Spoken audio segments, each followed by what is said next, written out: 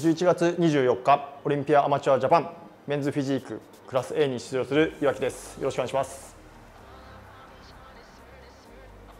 いや正直あのその前のリージョナルでも優勝できてたわけじゃなかったので自分としては驚きまし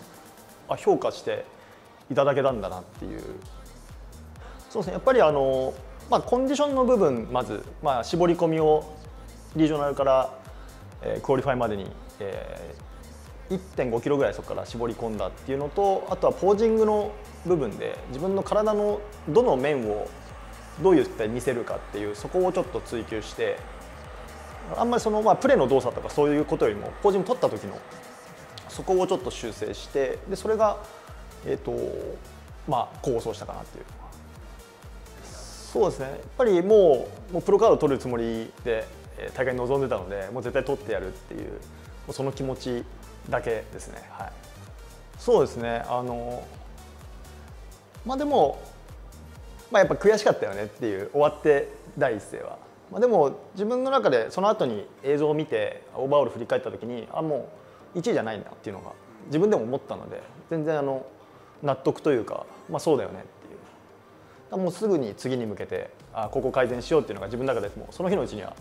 見えたんでで今回はそこをちょっと潰してきたんでやっ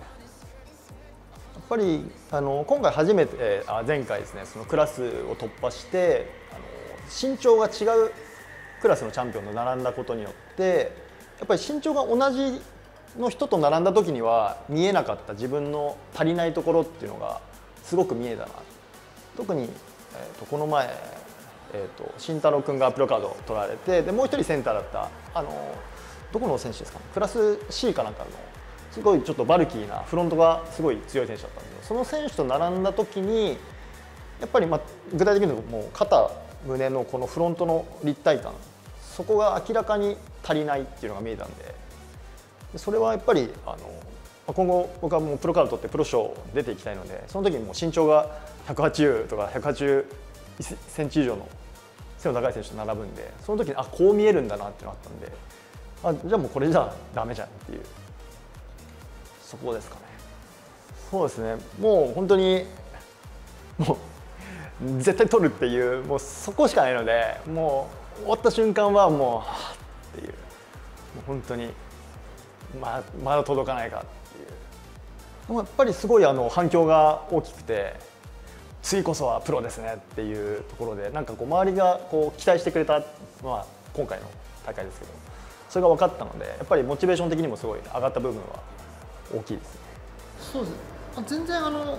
追われるっていう気持ちは全然なくてもうとにかく僕はもうプロ賞で、まあ、世界で活躍したいっていう思いがあるのでもうそこの人たちに勝つために今やってるので全然なんですかねもっともっと自分が成長しないといけないっていうことは必死なのであんまりそこに追われるプレッシャーみたいなのは全然ないです。そうですね。まず、えーとまあ、体的なことで言うとさっき言ったフロントのインパクトをもう少しつけたいっていうところで、えー、肩のフロントあとは胸の立体感ですね。そこを特に強化してきました。でバックに関してもあの、まあ、ジャッジからフィードバックとして背中の、え、やっぱ立体感ですね。セパレートがもう少し欲しいっていうことだったのでそこもちょっとこう、まあ、メニューを変えたりとかして取り組んできてであとはもうポージングの部分ですね。で今回あの、まあ、少し前にもあの IBB の方からもポージングのなんかアップデートの説明とかがあったと思うんですけどでそれを踏まえて、えー、と現在のあのオリンピアだとか海外のプロ賞の選手のスタンスだとか、えー、と体の面の見せ方とかそういうところを研究してポージングの部分での変化が実は一番、うん、この短期間だったのであの変えたかなと思ってます。はいこんにちは。いや本当に何でしょう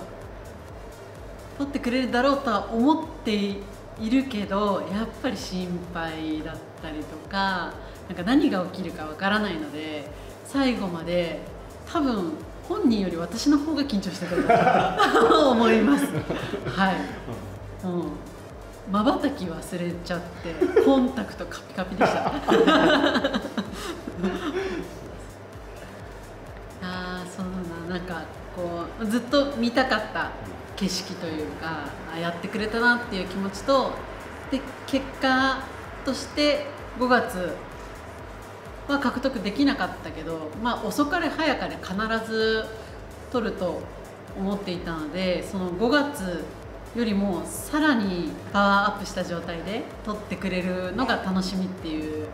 感じでしたねその時は。そうですねあの去年の12月に生まれてでやっぱりもう生活も変わったので 常にやっぱり娘が第一優先っていうでその中での競技になったんですけどだからって言ってなんかそれを絶対言い訳にしたくないってなったのででやっぱり娘が生まれて強くなったって言わせたいなと思ったのでだから僕の力になってる、そうですね、あのーなんか私の目から見るとその娘が生まれてからすごくこういい意味で力が抜けてるように見えてます。なんかこう前は本当に競技とかもなんだろう競技に仕事にこうぐっとこう常に集中してって今ももちろん競技に集中してるけどもいい意味すごくリラックスしてていつも通りなんですよね。なんか家に帰っても悲壮感とか全くなくってすごくこう楽しそうでで気がこうリラックスできてるからこそその自分の体の変化をこうか楽しんでる感じに見えて研究して改善して楽しんでで家ではリラックスしていてっていうもうマインド面が前よりさらにいい状態になってるように見えます。そうですねやっぱりあの今美穂からもあったようになんかこう一歩引いてちょっと広く物事を見れるようになったかなっていうのがあるのでなんかこう本当にいい意味で力が抜けたかなそうですねやっぱりあのずっと2人でやってきたので一緒に IBB プロとしてあの海外のステージに立ちたいっていうそこが今2人のあの一番の目標なのでで美穂も今、えー、と再来年2025年の復帰に向けてまたちょっと体を作っていくのでなのでまずプロカードを取ると。はい。めちゃめちゃ楽しみですそこれそしてあれですよね。今回のプロカードの色？そうなんですオレンジである。オレンジ。今年しかない。やっぱり今年見た時にもうオレンジであこれはもう自分が取らないとっていう勝手に。ですよね。はい。いやオレンジ、まあ、ここに飾ってほしいですよねこのオレンジ。そうですね。やっぱりこのオレンジっていうこともうっていうんなんですかね色に。でもこだわりがあるの思い出があるのでこれ絶対取りたいな。とあそうですね。やっぱりあのまずプレゼンテーションに一人一人出てくると思うんですけどもうあそこに出たい。あの演出でのあの一人での登場あそこのステージに絶対立ちたいっていうのはありますミですかプロ目線私はやっぱりあの演出でバーンと登場したいから日本の大会に出たい それはすごく大きいです。でやっぱりあのなんでしょう。会場まこう選手を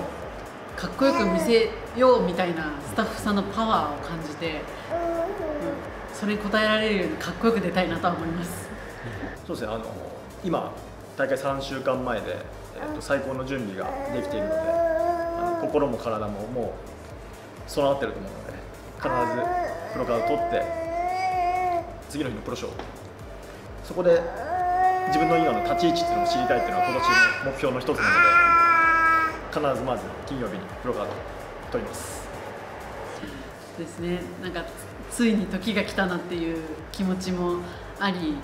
少し緊張しつつなぜか私の方が緊張してるんですけど本当にずっと応援してるので取ってほしいなと思います。